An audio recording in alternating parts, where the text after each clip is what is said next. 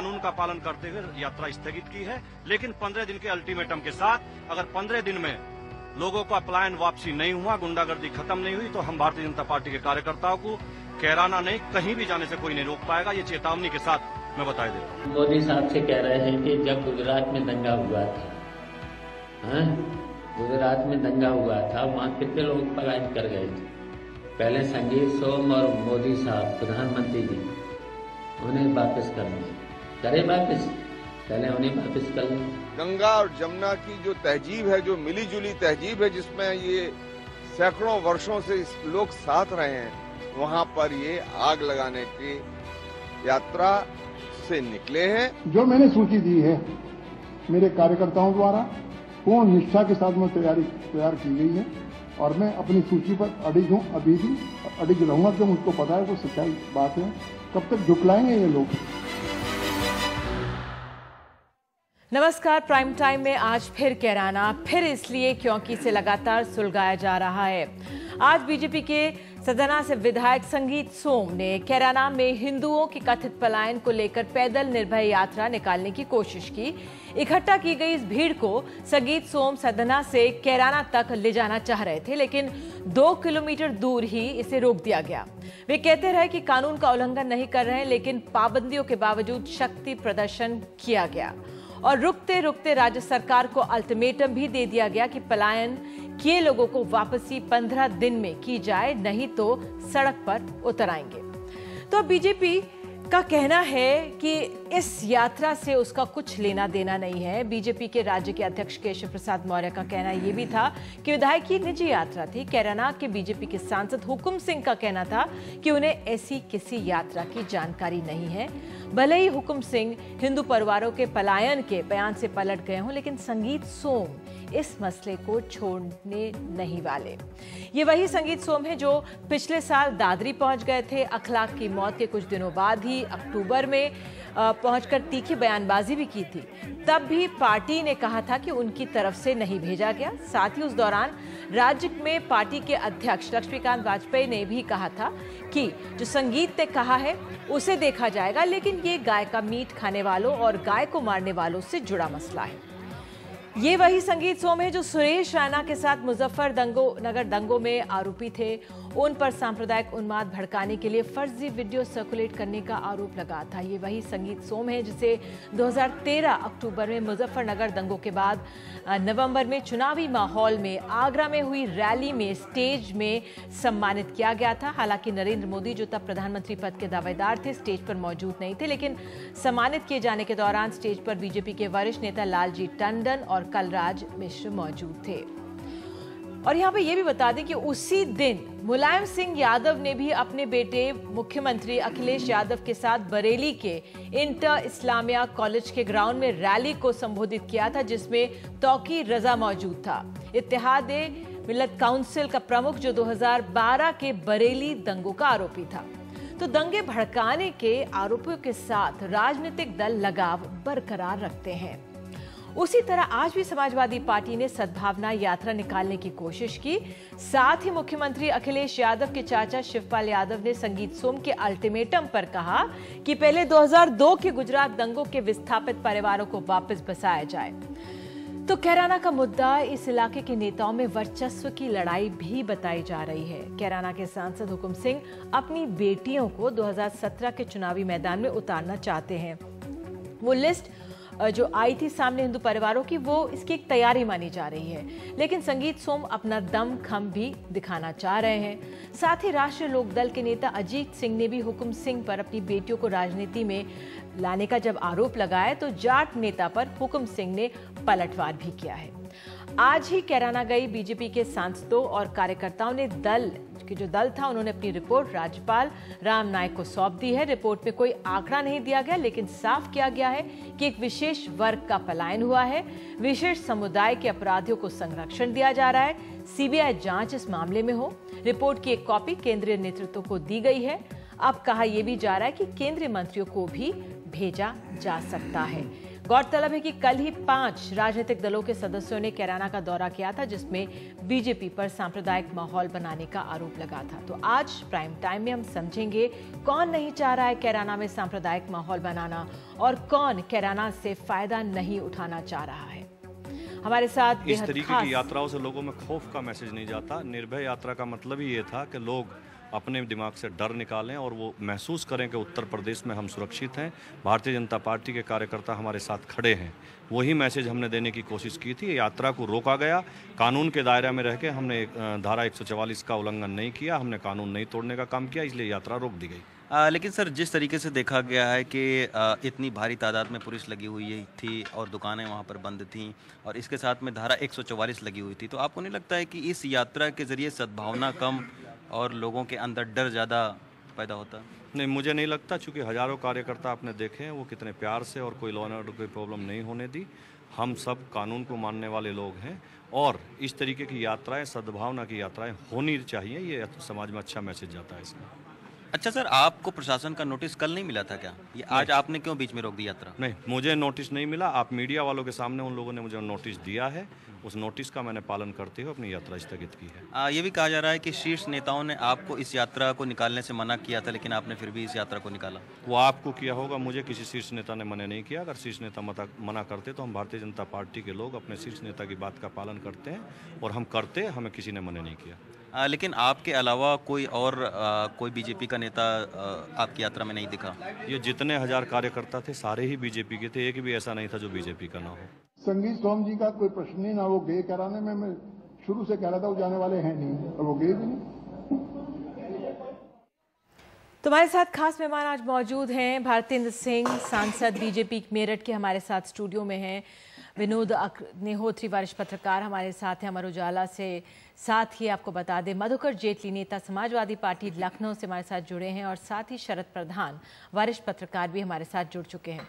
भारतेंद्र जी बहुत बहुत शुक्रिया कि आप आए आपने समय निकाला। आ, संगीत सोम की आज जो ये कोशिश हुई है उसको आप कैसे देख रहे हैं? केवल संगीत सोम ही नहीं सब हर पार्टी में लोकतंत्र में आप किसी भी व्यक्ति को या नेता को अप, अपने हृदय की बात कहने से नहीं रोक सकते। चाहे वो आज़म खान हो जब ये इतना बुरा कांड हुआ था बदायूं में तो आज़म खान साहब ने कहा था कि आपने मेरी भैंसों को क्वीन विक्टोरिया से भी ज़्यादा प्रसिद्ध कर दिया है।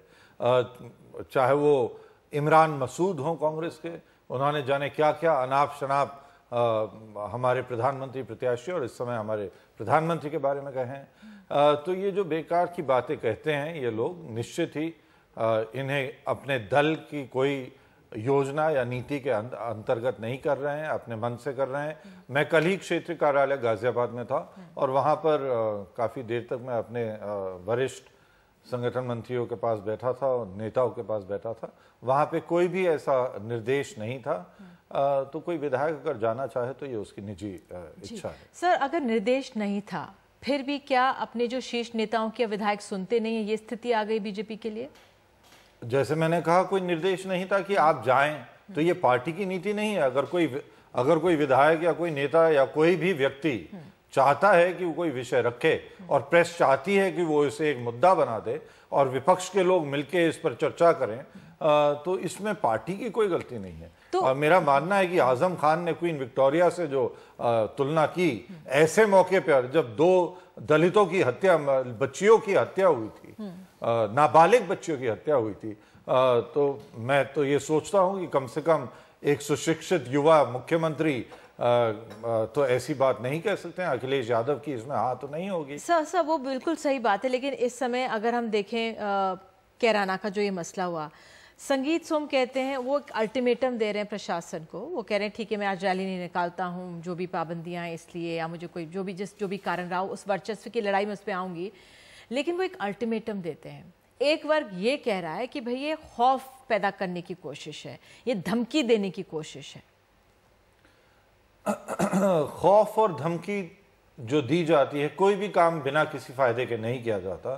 खौफ और धमकी तो उन लोगों को दी गई जो अपना घर बार छोड़ के पलायन कर गए। वो लोग कौन थे? निश्चित वो लोग वो थे जिनके पास कुछ धन था। आ, तो वो कौन थे? वो व्यापारी थे।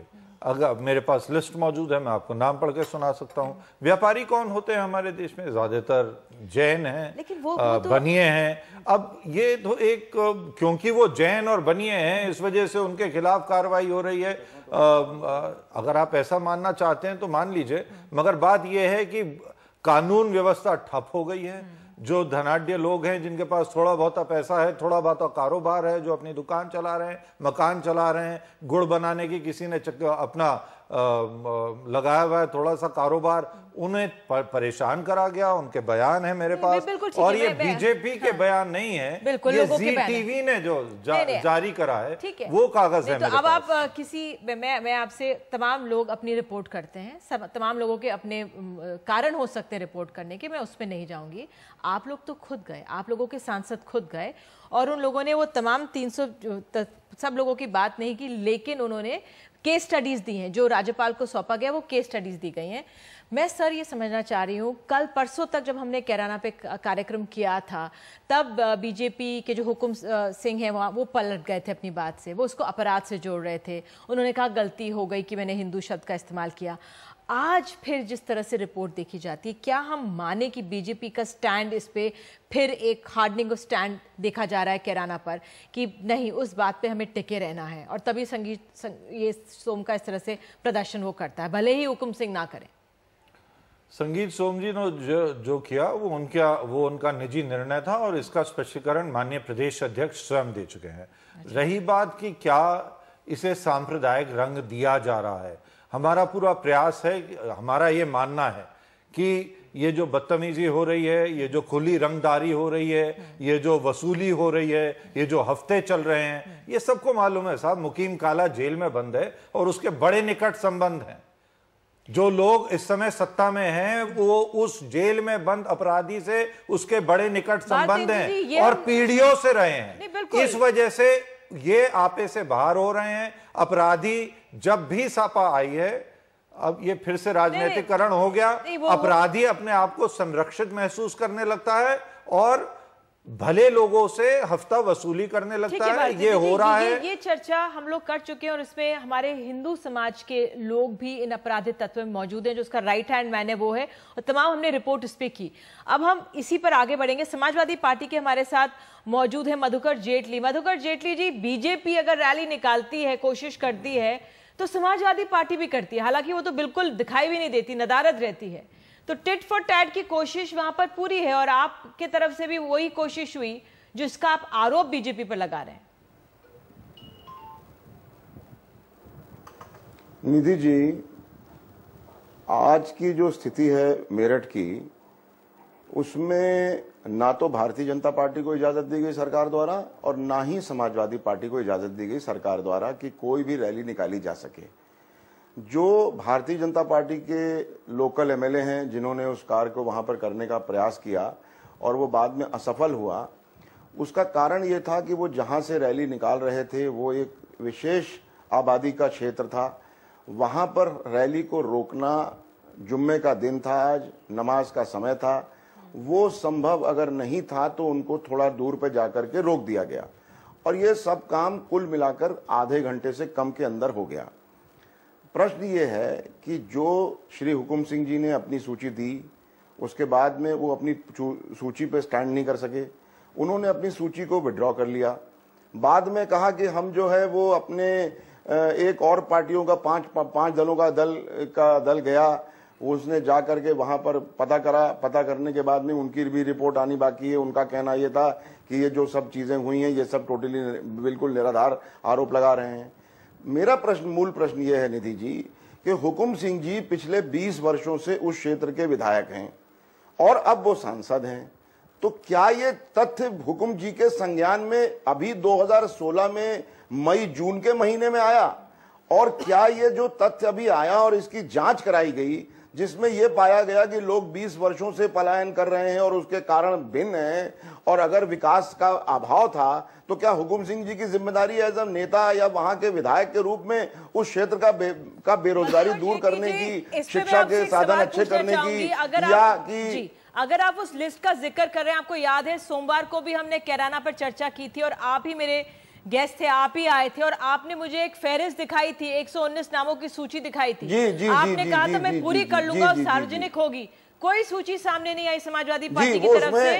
सिर्फ़ डीएम की एक रिपोर्ट आई सूची जो कुछ भी नहीं है। है सूची जो है नहीं नहीं सूची जो है सरकार पूरी तरह से जाँच करा रही है। 119 लोगों के बाद में छप्पन लोगों की जांचें और हो गई हैं। और जब सूची कंप्लीट हो जाएगी निधि जी एक तथ्य को जाँच करने के लिए उसके साथ में जुड़े हुए बहुत सारे तथ्यों की जाँच की जाती है। वहाँ पर 15 10 8 7 9 लोगों से पूछताछ की जाती है और सारे फैक्ट्स इकट्ठा करने के बाद में वो 346 और 60 के जो बाकी नाम दिए गए हैं वो सारी सूचियाँ कंप्लीट हो रही हैं। आपकी सूची का भी इंतज़ार नहीं नहीं बीजेपी की मेरा सूची कहने का- पूरी पहुँची बिल्कुल, नहीं है। और किसी भी सूची को जो हुकुम भी जी की सूची है। है। आपकी भी नहीं नहीं बीजेपी की तो पहुंचेगी ही नहीं। बीजेपी की तो नहीं आएगी।